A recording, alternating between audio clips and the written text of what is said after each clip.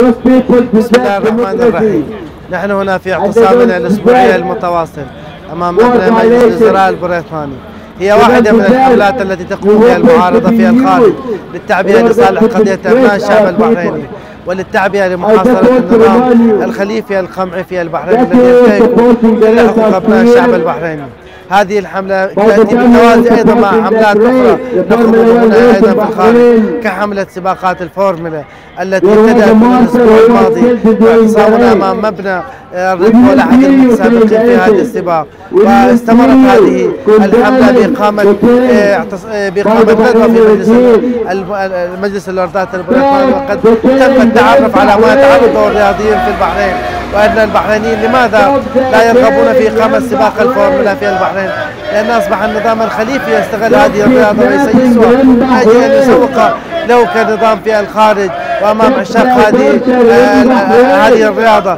كما نعلم أن النظام الخليفي أصبح محاصرا نتيجه قيامه بالجرائم الشنيعة ضد ابناء الشارع البحريني لهذا يريد أن يستغل هذه الرياضة لكي يفك عزلته والحصار الذي عليه. لأن أبناء الشعب البحريني يرفضون مثل هذا التأسيس.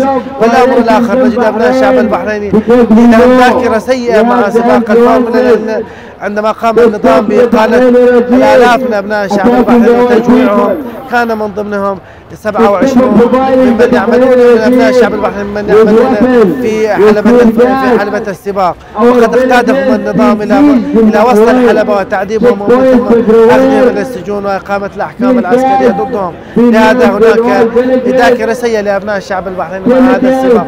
وأيضا يريدون أبناء الشعب البحريني التزاما أخلاقيا من قبل المنظمين بأن يكون لهم بعدا أخلاقيا وليس أن يركزوا على أموال السباق التي يجنونها من ما يعطيهم النظام الخليفي. عندما يسرق عندما يسرق الأموال من أبناء الشعب البحريني ويعتاد مثل هذا السباق. وبالتالي نحن نذكرهم بالتزامهم الأخلاقي بأن يكون عليهم التزام أخلاقي. لا, لا, لا يكون هذا السباق أن يجرى على دماء الشعب البحريني هي هذه هي واحدة من حملات التعبئة الناجحة التي أقامها أبناء الشعب البحريني تضاف إليها حملات سابقة كالتي كالتي أقمناها ضد منع أو لمنع حضور الطاغية ناصر بن حمد الأولمبياد التي أقيمت هنا وكانت أيضا هذه حملة ناجحة.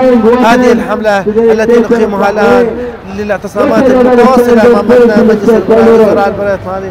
قد أثارت الرأي العام والمارة هنا الذين يأتون بأعداد كبيرة ويتساءلون ما هي قضية أبناء الشعب البحريني لماذا هي محاصرة من قبل الإعلام الغربي ومن قبل الإدارات هنا. وبالتالي هذا هذا الاعتصام حقق العديد من هذه النجاحات التي حاولت أن أشير لها وبالتالي الشعب البحريني هو شعب خلاق ويستغل مواقعه سواء في السجن وفي الساعات والميادين داخل البحرين وهنا أيضا في الخارج. نسأل الله التوفيق لنا أن نناصر أبناء شعبنا في الداخل.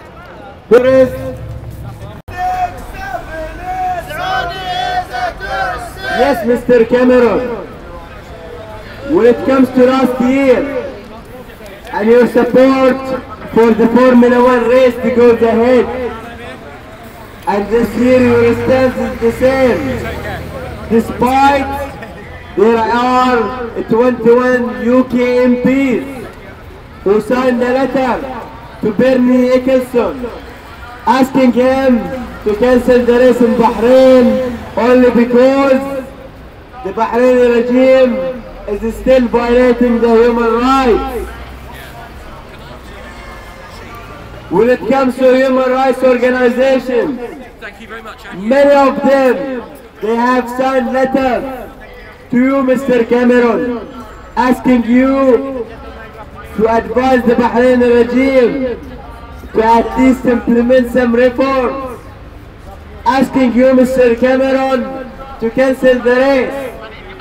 Another letter by trade unionists, which they represent 4 million members, all of them, they signed this letter and they told you to stop the race in Bahrain, to use your influences to take the right action, to take the right decision, and to stop supporting the dictatorship of Bahrain. So Mr. Cameron,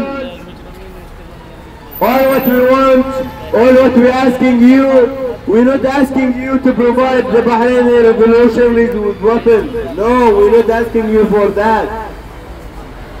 We're not asking you to give us democracy in Bahrain. Neither we're not asking you that. All we're asking you is to stop supporting the dictators of Bahrain, to stop providing them with political coverage, is to stop providing them with arms, with weapons, with security training, with security exchange.